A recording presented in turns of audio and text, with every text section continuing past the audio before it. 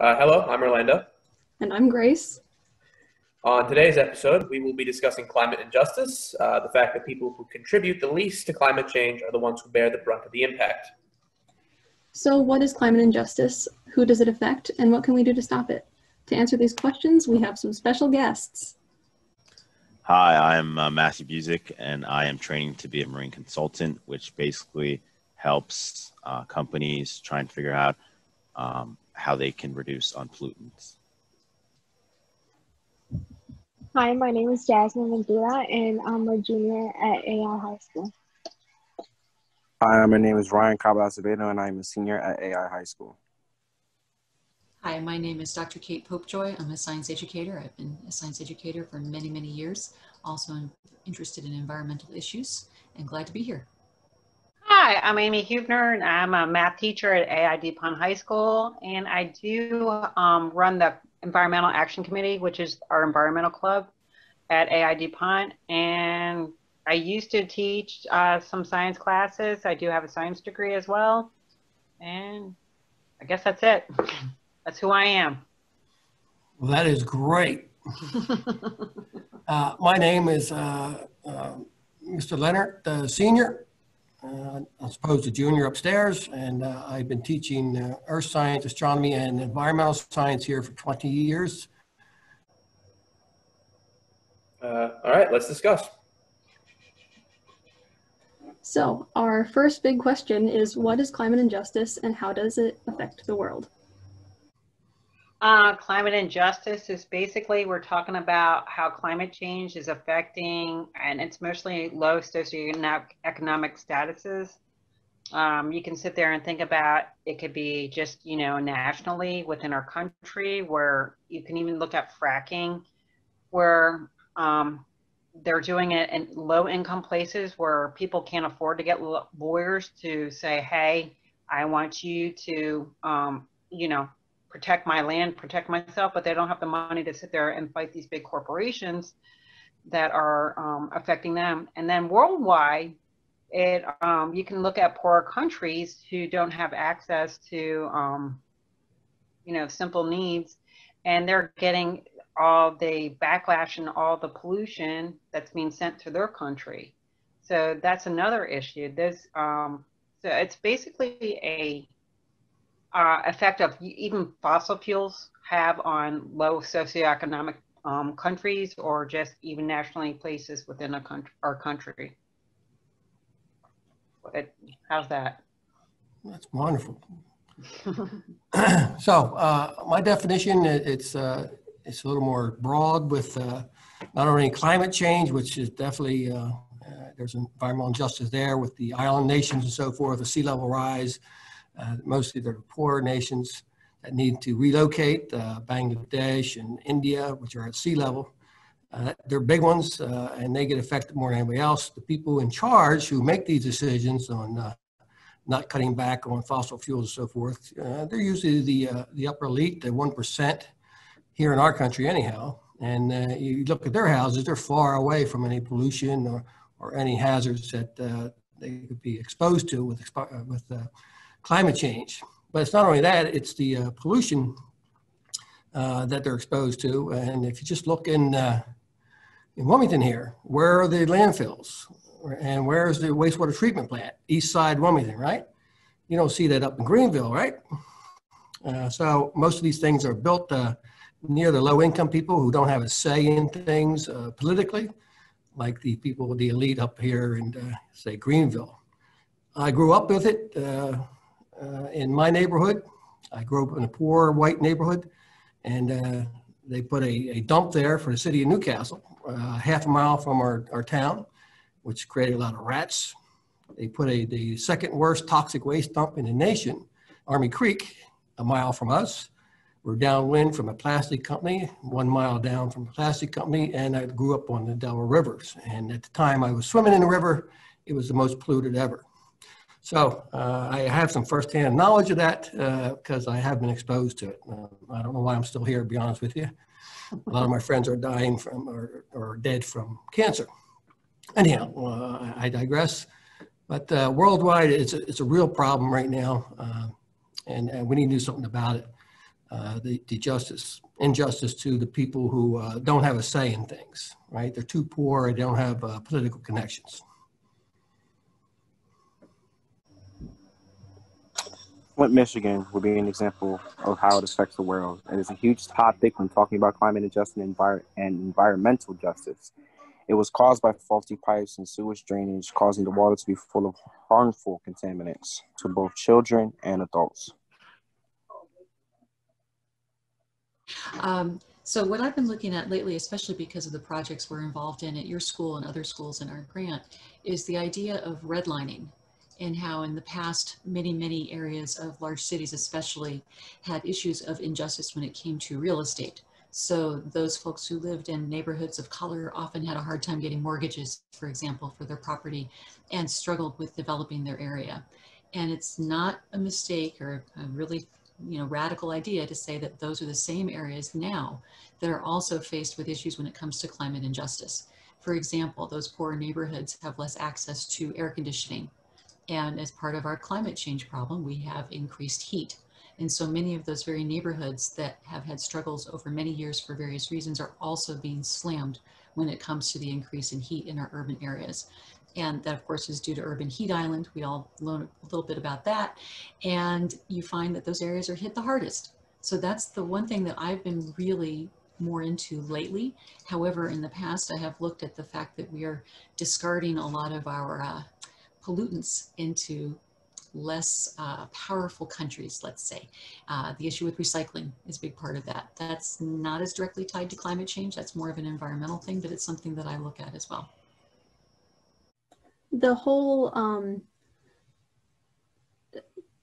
putting our problems on other countries is pretty central to the whole climate injustice issue, um, where big polluters and um, carbon emitters like the US are not suffering as much from this issue, and then they're not doing anything about it. So lots of places like coastal islands are just like, I forget the name of the island that's like already working on evacuation because it's the sea level rise is so bad. Yeah, that would but, be Kiribati in the Central Pacific. Yes, thank you. Mm-hmm, mm-hmm. Um, but places like the U.S., we just ignore it because we aren't facing the direct consequences of our actions. Yeah, and that's one of the issues when you look at some of the international agreements that we have either signed or walked out of. Hopefully, we'll be back in the Paris Accords now that we have our change in leadership in our country. Um, but one of the biggest issues throughout this whole process, and this whole thing started before you were born, actually, we started really worrying about climate change, those of us in the science community did. And one of the hugest things that those negotiators face at every one of those conferences is it's us, you know, we developed countries who have caused these issues with climate change. And then we turn around and tell developing countries that they can't use some of the same tools that we used to advance. So, you know, in our past, in our history, our industrial revolution began this whole process. All right, it's not just the pollution, it's also the climate change itself because of the CO2 that's put in the atmosphere. And so then we turn around and tell all these other countries that want to get to a higher level of development like we have that, well, you can't do what we did. Do, do as I say, not as I did, right? and and that's a problem that uh, boy if i could fix it i guess i'd be queen of the world but um, that's one of the huge political problems that we have and i think that if we in the united states and also china which is our number one emitter now not not putting blame off of us but if we if we the ones who are doing the worst damage would you know really sign on to do the things that could help to alleviate these issues then we get more buy-in from the rest of the global community and the fact that we walked away from the Paris Accords did not help this process in the slightest. Um, and it shows that you know volatility in leadership is a huge problem when it comes to these types of agreements. Um, that we have issues where, for example, you know, the Senate has to confirm all treaties that we make. Sometimes that's an issue. The Senate needed to approve the climate change stuff. Sometimes that's an issue. So what we can do here in our country is push very hard on our leadership to do what they need to do and to make us not be the, the, the oh, what's the word I want to use? Not laughing stock, that's too nice. Um, the big baddie of the globe, because that's what we are. And it's very frustrating to those of us who have been, you know, beating this drum for a very long time that we're still having to face this when it's so evident that this problem is here. So uh, I would like to say something, and that is uh, the climate injustice as a whole is a. It's basically a very sad endeavor because, uh, like uh, people have said, it really affects uh, either low-income communities or even nations, or even peoples. Like for example, the uh, tribes of Australia, the native people of Australia who live around the bush, which is an extremely hot, very. There's not a lot of water there. Um, the more the hotter and hotter it gets, and the more and more the lakes dry up in their community, the harder harder it's going to be to live there. And that's also seen in other uh, countries, such as like India and Burma and uh, Tajikistan and stuff like that. So it, it's very uh, important that we basically make it so that these countries who were basically given nothing, um, that they can try and uh, you know thrive or even thrive. I'd like to add something. Um, like Matthew said, like there's it's oh it always hits like um low income people. I mean, yeah, like like low income communities. Um, like in 20, 2005, I mean, Hurricane Katrina hit in New Orleans, and it hit like really a lot of people. Um, and it was a really slow response to leaving communities of color in stranded for a very long time. And I just wanted to add that to what Matthew said. And uh, I'd like to interject as well uh, on on what Matt was saying about Australia specifically. Uh, as a whole, I think we talk a lot about you know pollution and global warming as a sorts, but when it comes to environmental injustice, I think it's also important to take note that some countries have not put in effective policies to counteract the abuse of the environment. Uh, and with the example of Australia, take overfishing or the destruction of the Great Barrier Reef. Uh, absolutely nothing has been done to fix many of these problems, which has resulted in you know destruction of beautiful landmarks and uh, the near collapse of Australia's fishing economy, which has cost thousands of people their jobs and livelihoods. And I think it's a real shame that some countries don't take initiative when making policy uh, to fit the environment to address some of these other issues. You know, not just focusing specifically on like global warming and air pollution. There needs to be some effort put into conser- conserving the natural environment around us as well. Yeah, and I'd like to add something really quick to this too. Um, and this is something where I'm speaking to younger people. I always try to be a little more positive because the issue we have is that we have countries that stand on their own, supposedly. And they're the ones that make decisions about their own country and their own borders. The problem is, is that we live in a world, we live on a globe where there are not giant walls between every country that, you know, we are all breathing the same air, using the same water, eating the same food that comes from the single place. I'm a, glo- I'm a total globalist. I admit it. Um, that's a bad word in many of the, the ruling communities of our country right now. But I believe that until we start to see the earth as a whole and see humans as a whole population where we all have to work together to preserve our home, which is the earth. Our home is not Delaware. Our home is not the United States. It is not Argentina. It is not Puerto Rico. Our home is the earth. And what we do here has such dramatic impact throughout the entire earth and that's a tough thing for people to understand. It's weird because I see it as so freaking obvious. And I was so excited when the European community got together and made the EU. And then what happens? You know, Great Britain runs away and hides and can't do it anymore. And they weren't even really members anyway, they sort of were. Um, still using the pound, not the euro. Um, so until we start to see ourselves as global, we are not going to get past this. And my hope is that as we continue to see migration, we see people moving from country to country, we see more and more um, interleavening of different peoples in different countries from elsewhere, like we have in our country, which I value highly, we will not see ourselves as global citizens. That's the most important thing I think that would change everything if we could do that. Now, again, when I'm queen of the world, that's what I'm going to do.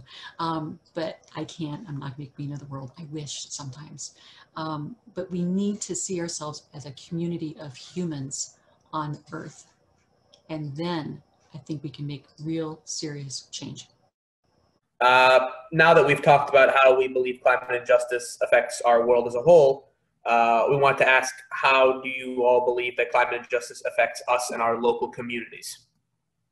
You know, I, I, I grew up in a family of 12. I was number 11 out of 12 and in a poor neighborhood, exposed to much pollution. And so uh, a lot of my family, uh, my uh, oldest brother died of cancer and just about all my friends from that neighborhood are dead now. So it does personally affect me. And that's why I'm so passionate about it in the classroom, as, as you can tell, that, uh, you know, someone has to fight for these people uh, who, who can't fight for themselves. And uh, with climate change uh, changing the world and the big companies like Claymont, you see Claymont's downwind from three oil refineries. I mean, that's just crazy stuff. and, and personally, I feel it's my duty to inform your generation. That's why I'm passionate in the teaching of it. So you can possibly change the world, at least be aware of what's happening. I'm glad you're doing this so some of our students will be aware. And, yeah, and, and water pollution, I live in Middletown and I'm very close to Port Penn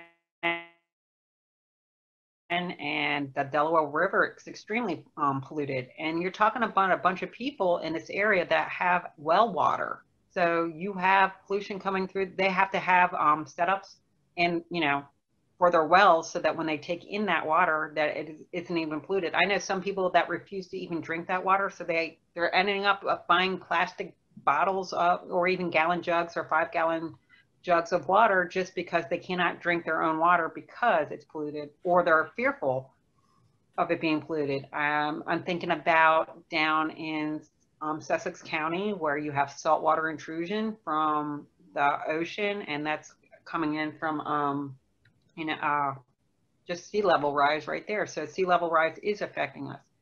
Um, I know that sea level rise is going to affect the um, city of Wilmington. It's going to take out part of Wilmington.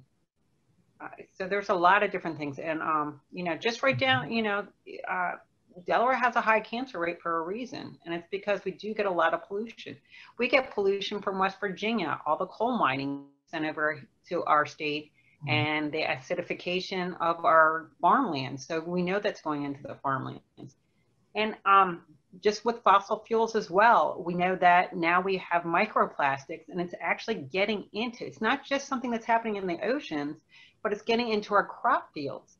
And the problem is when these um, plants take up the microplastics, the heavy metals are attached to them. Before, when they take up the heavy metals, they could expose of it. Now it's attached to these plastics and it's getting into our food. And we're not, we're not thinking. We're not thinking about the grander scale down the road. And we wonder why we have all these new diseases. Eh, COVID. COVID is a problem from deforestation. There's, uh, you know, and it causes a pandemic. So we just need to think ahead. We need to be more conscious. And how do we fight it? Well, we have to educate. And it's not just, I, we, it's nice to educate kids, but it's also, the adults need to be educated and they have to accept it. And I, I you know, going way back to Al Gore, it is an inconvenient truth. And I'm sorry, but you know, if you are worried about your kids and your grandkids and your great grandkids, you need to think about what you're doing now and how it's going to affect them. And it can't be about big corporations making money. The amount of money they make is sick. And, and just by changing a little, little things here and there, it's going to make a bigger in, um, environmental impact just by big corporations making small changes. So I would just like to say, as a uh, avid, um, basically uh, fisherman, uh, same thing with my family. Uh, the whole Delaware community has really felt um, a uh, definitely from climate change and from overfishing. Uh, felt that there is less fish in the uh, Delaware's waters. And it's kind of an interesting parallel, the fact that there are fishermen who are, you know, historically very conservative thinking, very conservative socially, but they believe in climate change and they will fight to the death uh, because they know that from when they were a little uh, kid to now, uh, now that they're like, you know, 60 years old or something, they know that the water has gone up by at least five degrees uh, and they know that certain fish just aren't coming uh, at certain times or just aren't coming at all. So I feel like that as a community, especially as a coastal community, at that, um, we really feel the brunt of a uh, basically a climate change and uh, even climate injustice for a little effect. And then the lack of fish goes on and affects like the whole economy. Everything has whole unforeseen consequences. Yeah, my, my thinking is that until everyone has a direct effect, they just don't seem to want to believe it. That's a big part of it. I mean, that's one of the discussions that's been happening all along in our society of, you know, especially elected representatives, until they actually face the problem themselves, they often just discount it. Um, the classic example is a particular politician who was very anti-gay rights in the past, and then his son came out as gay. Well, now maybe he thinks differently. So why did it take it happening to that politician directly for him to change his mind? You, know, you have to walk in the mile in their shoes, et cetera, et cetera. But to be honest, that's not what empathy is all about. Empathy is understanding before you've even walked in their shoes and also trusting the science. That's a huge other issue we could do an entire months of podcasts on. But the problem we have is until it directly affects them, like the fishermen in the coastal areas, they're like, well, you know, I don't, I don't see it until they do see it. And the problem is if we wait for everyone to see direct impacts of climate change on each of them, it's too late. By then, I mean, the world has to be on fire, I guess, for people to notice, you know, and, and, and, and that's kind of the argument that I use with folks sometimes. They say, oh, I don't think it's real. It's like, well, okay, well, look at the data. You know, look at the rainfall versus snowfall in our area, for example. I'm in eastern Pennsylvania, so not too far from you. Actually, just drove right through Wilmington a couple years or a couple months ago when I was on my way somewhere else. I was like, oh, there's the exit for AI. It's like, hey, there it is. Um, but you know, here it's less snow. We have a lot less snow than we used to have here in eastern Pennsylvania. My husband has lived here since 1999. He discovered skiing at the age of 40, came to it a little late. Uh, he likes to ski in our local Blue Mountain, which I always tease him. It's a little tiny hill compared to real mountains, but he enjoys it. He goes out and he does a half a day. Well, last couple of years, it's been more rain than snow. Very little snow. And that's going to happen throughout the eastern United States. You know, we're going to get warmer and warmer and have more and more rain and less snow. And that's one of the direct impacts. Now, whether that's climate injustice, no. It's evidence of climate change. Um, we're very insulated here in my household you know, my, my husband and I are very fortunate. We make a decent amount of money. We have a nice house. We have three cats. We both donate to various things like the Sierra Club because we feel a little guilty sometimes. I do have a hybrid car, finally. You know, I finally got a hybrid car. Um, but we are pretty fortunate in that we can, we're resilient. But most of the world's population is not so fortunate and resilient. Small changes can cause dramatic catastrophes in so many populations. And I think that's part of the American problem is that those who are, quote, in leadership, unquote, are often not affected by this. And they don't always listen to their constituents. And they should.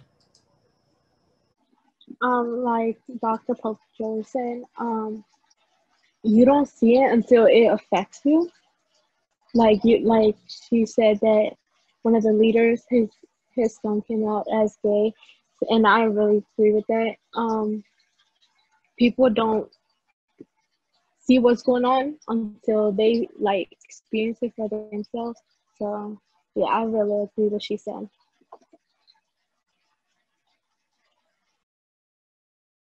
All right, as our little wrap up question, we have what can we do to stop climate injustice? Because this is a major issue and it doesn't have a simple solution.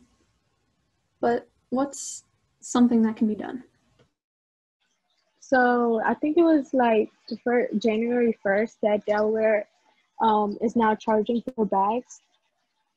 Yeah, so like I think that's one way we can start by, and if we, uh, if we price the bags, people are not gonna want to buy bags, so that's gonna like reduce the use of plastic.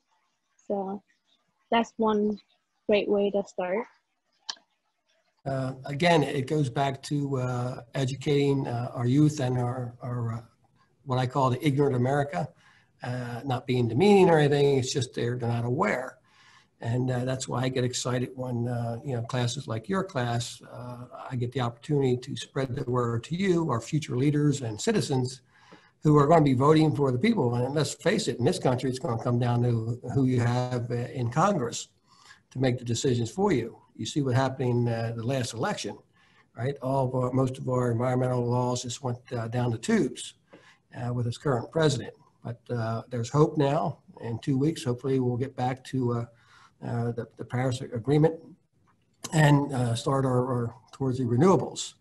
So it, it all comes down to government, who you choose. And in order to choose the right person, you need to be aware of what's going on, especially on environmental issues. That's where it's important for us teachers like uh, Ms. Huber and myself to make sure we, we emphasize uh, what you need to know before you make that decision for who your leaders are going to be. And uh, that, that's the best thing we can do right now. Education, um, uh, you know, we need to think about how we're going to change. The biggest change that we need to make is trying to find how to deal with the um, combustible engine, because that's really what's sucking up uh, a lot of our fossil fuels. I think we can get a lot of, uh, away from being on the grid, from coal being our main electric source, because we have solar and wind. And it, actually, the solar is getting much better. There's already um, a compound that, they're starting to replace the silicon with. So um, just making sure people are aware, not being selfish.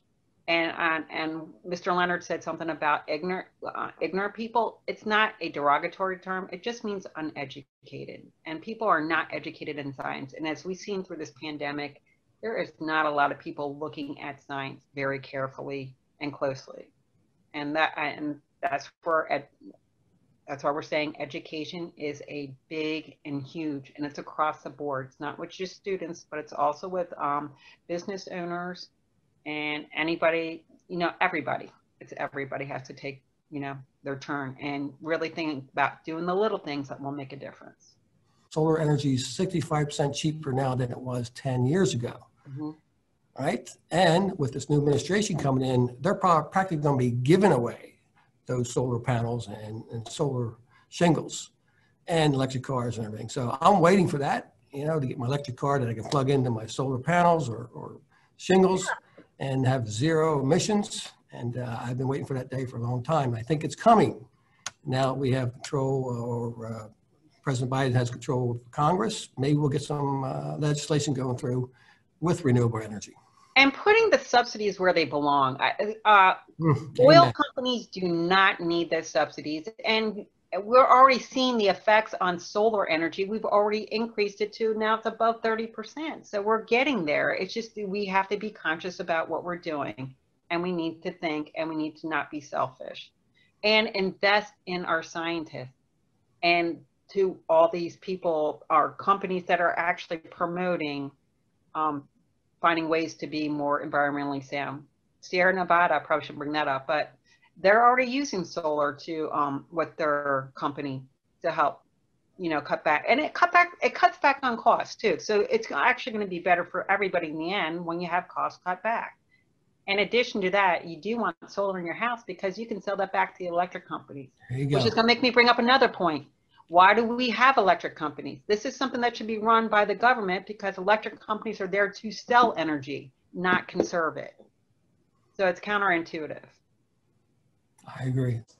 You know, it's interesting because the whole climate thing often gets conflated with pollution and environmental impact, which is fine. I don't have a problem with that. Um, I think that one of the arguments I've used with people who don't recognize climate change, I can at least help them understand that pollution is not a good thing.